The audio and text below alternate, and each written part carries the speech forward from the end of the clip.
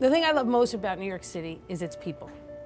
How colorful they are, how, in the best of all possible ways, crazy they are, how much they love New York, and how hard they fight to make sure New York is everything they need it to be.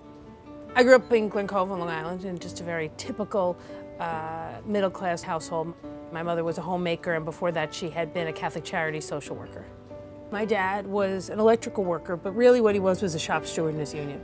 And he went on strike twice when I was a kid. So I learned through those experiences what it meant for people to hang together, to stay together, what it meant to him that his union never gave in and what it meant to have good insurance because of his union. So when my mother was sick, we had no worries. She could get any of the care she ever needed because he had that union that took care of him. When I was uh, about six or so, my mother was diagnosed with breast cancer and she battled valiantly for a decade and eventually died in December uh, when I was 16 years old. My mother's uh, life and death left me with the belief that our obligation is to use every moment we have on this earth to make it a better place, to make other people's lives better, to make sure nobody is left behind because they might need a little more help. My first real job in New York City was as a housing organizer. I ran the Housing Justice Campaign, fighting for tenants in neighborhoods all across the city. And then I was the head of the New York City Gay and Lesbian Anti-Violence Project, which is a crime victims assistance agency that focuses on the needs of the LGBT community. And we directly serve people who are victims of hate crimes, domestic violence, sexual assault. And then when I ended up Speaker of the City Council, I wanted to use every second of that job as effectively as I could to make people's lives better, to make people's lives easier. I'm about keeping New York City a place for the middle class to live and grow and a place that's going to help all of those hardworking people get into the middle class.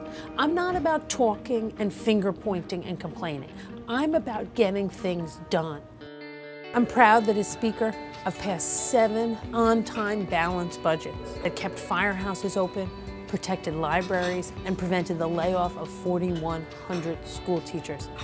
I've passed prevailing and living wage laws that'll bring more financial resources to working families. I've passed laws that have prevented wrongful deportations of hardworking immigrants all throughout our city. I've passed time and time again legislation that has protected a woman's right to choose. I've expanded full-day pre-kindergarten and I got the state legislature to make kindergarten mandatory throughout our city. Today I'm announcing, making it official, that I'm running for mayor of the city of New York. You know, I'm running for mayor because I love this city. It is the greatest place in the world.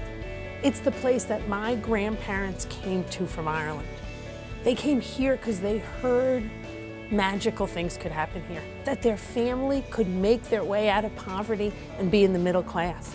It's the city that gave my family that opportunity.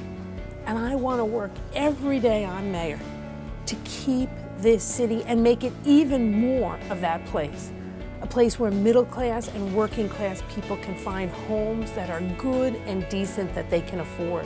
A place where people can find childcare that they can afford.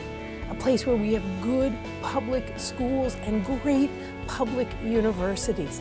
A place that is safe for every child to walk home down their block. And a city where when that child grows up, after they finish school, there'll be a good job for them. New York for my family was a beacon, a place where they believed if they came, great, almost magical things would happen, and they did. And that's what I want to make sure remains the ultimate truth about New York City. I'm kicking off today our uh, walk and talk tour. We're going to walk and talk our way through every neighborhood in the city. And I think it's a great way to hear directly from New Yorkers what's going on in their homes, what's going on in their lives, so I can make sure when I'm mayor, my focus is their focus. The issues I'm working on are the issues that they're facing every day. So I just ask folks, come out and walk and talk with me. Tell me what you want City Hall to do. Show me the hidden treasures of your neighborhood that I may not have gotten to see. So put those sensible shoes on and come on out with us.